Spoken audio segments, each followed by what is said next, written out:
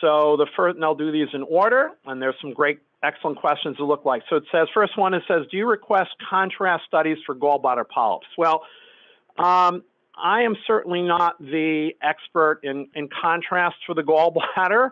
Um, you know, we generally don't use contrast media in, in our practice. Um, so I don't really have expertise in that area, but I, I, generally I would say the answer is no. Uh, I'd have to look at the literature on this. Most of these are small. Um, you know, certainly if it's a true neoplastic quote unquote process, it's going to have flow to it. So it's certainly a great thought, but I don't see how it's going to, you know, going to change, you know, change management, honestly. Um, next question, is there a grading for adenomyomatosis?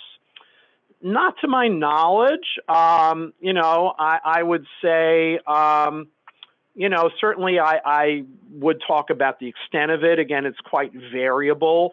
Um, I don't think it really makes a big difference to my knowledge. You know, it's generally an asymptomatic process. Um, you know, if the patient has, you know, chronic pain and it's ascribed to the gallbladder, is it possible that they have some sort of dyskinesia that's ascribable to it? Maybe. But in my take on the review of the literature, it's generally asymptomatic. So, you know, do you say mild, moderate, severe? Not really. I, I usually just describe the extent of it.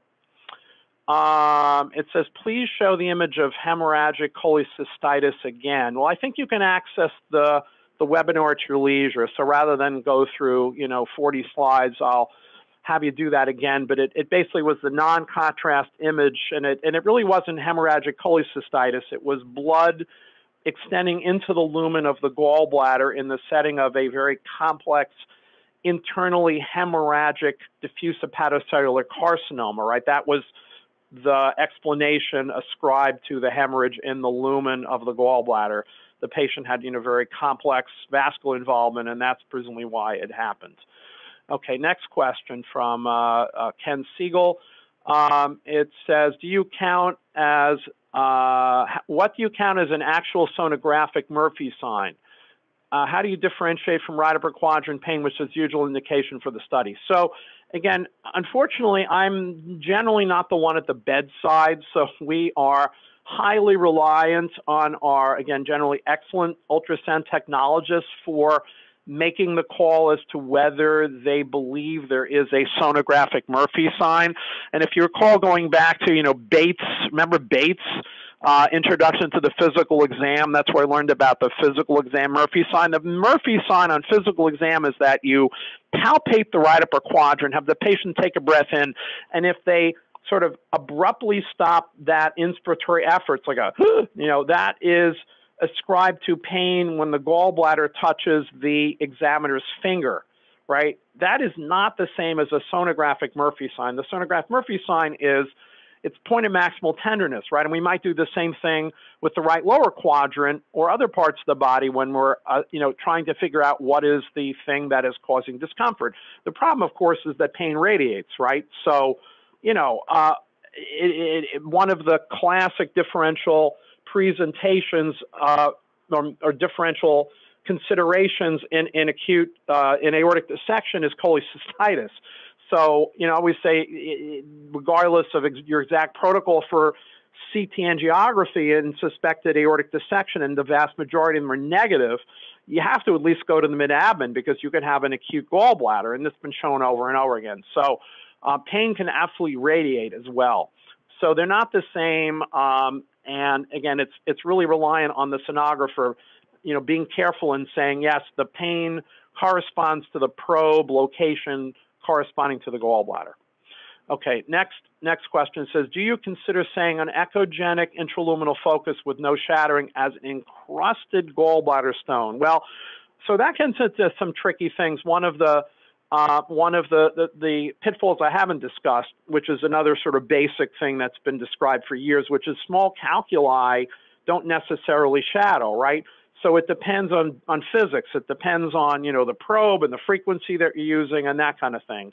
So it can be problematic sometimes when you have small calculi to determine if they're actually calculi or if they're areas of sludge or if they're polyps. So even that can be problematic. Um, again, a very basic thing. Do you consider gallbladder polyp morphology stalk and ma management algorithm? Well, the, again, these are not colonic polyps, so generally we don't. Um, they're typically not. You know, they usually don't have stalks.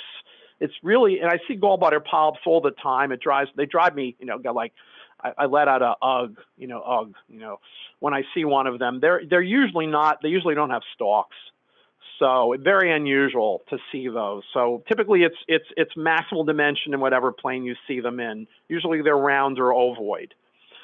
Uh, and great questions, thank you. So how to report gallbladder edema and congestive heart disease or ascites? Well, so it, it really is, you know, looking at everything, and that everything, if it's just the ultrasound, may not may not be clear that you're dealing with something above and beyond the gallbladder. It's it's it's getting the history. It's looking at the chest radiograph if you have it. It's looking at recent MRs, CTs, etc.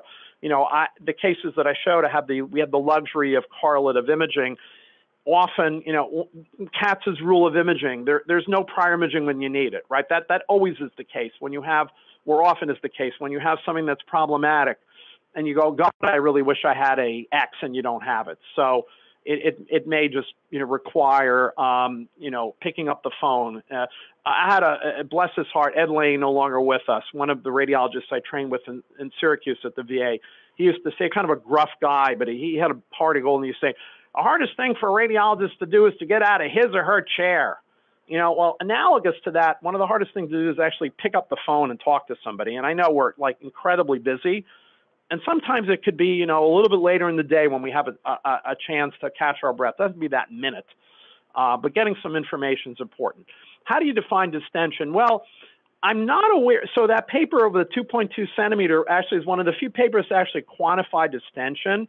Um, it's sort of a gestalt thing, right? I, I would say in an adult, when I see a gallbladder in long axis that's pushing like seven, seven, six and a half, seven or more centimeter, that's when I start to talking about distension. But it, it, it's sort of like a gestalt. You know, you look and you go, that gallbladder's distended.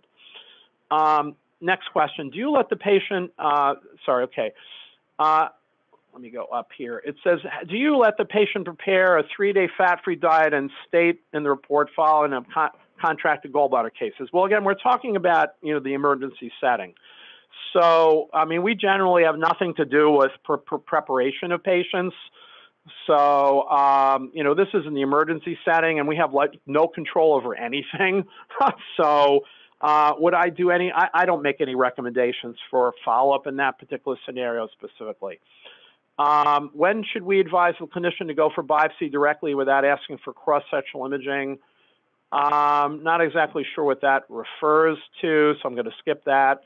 Okay, next question. It says, how to diagnose tumor factors selection blood tumor. Very, very difficult. So, you know, common things are common, right? So, uh, gallbladder cancer, thankfully, is is really quite unusual. Um, you know, it has a very typical presentation when it's more advanced. It, it, it's you know, elderly women, older women. It, it's locally invasive. It's associated with the gallstones. Um, you know, when you see a, a mass centered on the gallbladder that seems to be invading, you know, differential is a, is, you know, hilar, you know, cholangiocarcinoma, gallbladder cancer. Um, again, it's a spectrum. It runs from, you just can't see it. It's a microscopic diagnosis to, um, there's, you know, focal regional wall thickening that, you know, is nonspecific. So uh, you, you try your best to put on flow, you know, color and power Doppler. It can be very difficult. And similar to scenarios like I've seen, you know, quality assurance in legal cases where the bladder, not the gallbladder, but the bladder in the pelvis is diffusely thickened, and you, you know you just can't tell. I mean, one of my other I'm, i get a chance to say all my favorite lines here. One of my favorite lines is I don't have a needle and a microscope, but I wish I did. You know, I was going to be one of the things I was going to do before I picked radiology was pathology, right? So I wish I had a needle and a microscope, but I don't. So you know, I can't tell looking at a CT what's diffuse cystitis from what's a diffuse neoplasm, and we've seen examples where there was one or the other or both, and you know, there you just can't tell. And so, if the, the gallbladder is diffusely thickened, I don't think you can tell, you know, chronic, you know, subacute cholecystitis from neoplasm. You know, when there's a focal mass and when there's bulky nodes, it's obvious, it's easy. When it's diffuse, very difficult. When there's focal areas and you really try to put flow on and it, it, it, you don't see it, we've seen cases where there actually is flow. Uh, you know, there's there's microscopic vascularity, and ultrasound just wasn't able to show it. So, okay, next question: the cholesteroloses. Well, so you know, going back, so I get to also cite some other medical school books. So remember Robbins and Cotran. Again, I'm really dating myself here. So, um, and that's been you know gone through many iterations over time. So there are a variety of other cholesterol cholesteroloses, the so-called strawberry gallbladder and stuff. It's a spectrum. Again, it's mostly a you know histopathologic diagnosis.